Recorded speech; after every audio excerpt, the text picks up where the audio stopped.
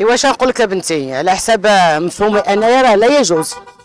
لأن الاباء خصهم يتحركوا لأن كيتزوجوا القصيرات اللي والديهم ما متقفينش. الحكومة الدولة خصها توعي الناس. لأن مراه كبيرة كل شيء وما قدش راسها بالأحرى قصيرة.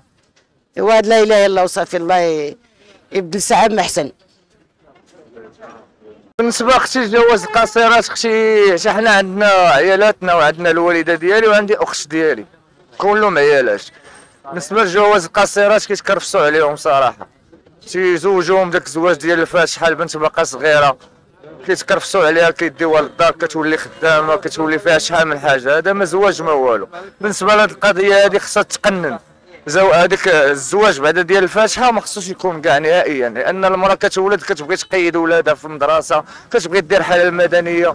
اش غتنفعها الزواج الفاتحه ضروري خص يكون العدول ويكون داك الشيء قانوني. وبالنسبة للأمهات تنصح الأمهات اللي كتعطيو بناتكم باقيين صغار. راه البنت إلا ما تزوجاش راه معاك في الدار وسيرتو البنات حنان.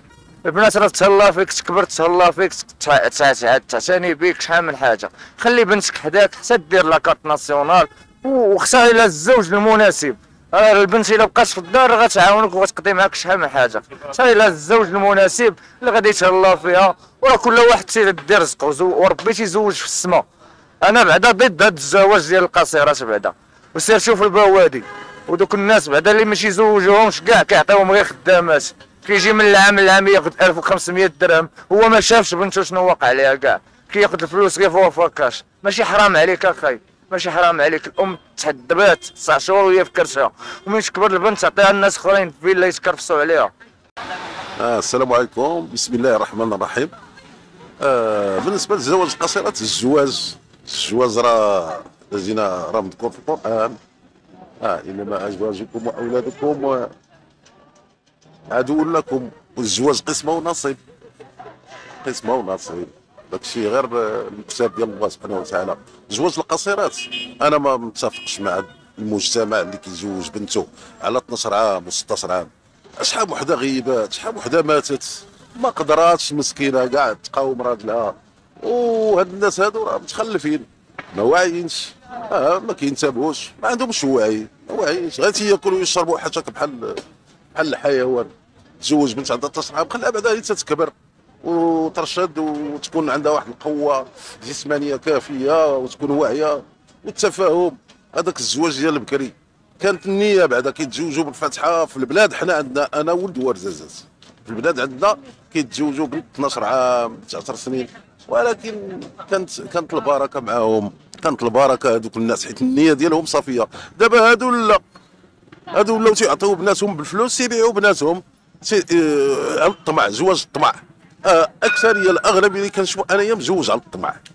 با لاباس عليه لا ما لاباس عليها ولا شي مشكل ما بتصقها آه ماشي معقول ماشي معقول أختي لا يعقل. البنت خليها تقرا قري وليداتك. إلا عطاك الله الناس تقريهم دير دفع بالاسباب تيكمل عليك الله. هذا اللي كاين. هو الصراحة القاصر يعني راه طفل الطفله هذيك المكان ديالها المناسب هي المدرسة. ماشي انها غتأسس واحد البيت ديال الزوجية اللي هي ما قادراش عليه. يعني دابا الكبار ويا ربي يا ربي واش غيقدر هو يأسس واحد البيت ويربي وليدات؟ ما زعما ما ماشي هو هذاك. وحنا باقي كنعانيو في هذا المشكل هذا في المغرب. مازال كاين كتمشي للمغرب العميق كتلقى بأن الطفلات في سن 13 عام 14 14 عام كيتزوجوا فرحانين ومساكن. هما ما عارفين شين غاديين. كيقول لها تزوجي ولا عندنا هي كاع ماشي بالرضا ديالها. خاص شي ثوره الصراحة في هذا الموضوع هذا. تزويج القاصرات أو الموضوع ديال القواصر في المجتمع المغربي أو المجتمعات العربية المتخلفة كلها. هو إشكال كبير وشائك موضوع كبير باش نناقشوه مجرد حوار. لكن كاين واحد النظرية اجتماعية اللي هي شنو؟ حنا التخلف ديالنا حللناه وعرفناه بأنه جا من إضعاف وتهميش وتضييق الخناق على حرية المرأة. حرية الاختيار في الحياة اللي عطاها الله. على ضوء هذه المسألة في الرأي ديالي المتواضع والصغير تقدروا تقبلوه تقدروا ما تقبلوش ولكن غنقولوا المرأة خصها ما نبقاوش مخبينا. خصها تقرأ خصها تولي عندها مهنة. تولي عندها قيمة اجتماعية قيمة مهنية أو عملية قيمة إنسانية وقيمة سياسية. إذا المرأة خصها تتحرر وبهذه المناسبة ديال عيد المرأة لأن هي تاج فوق الرأس.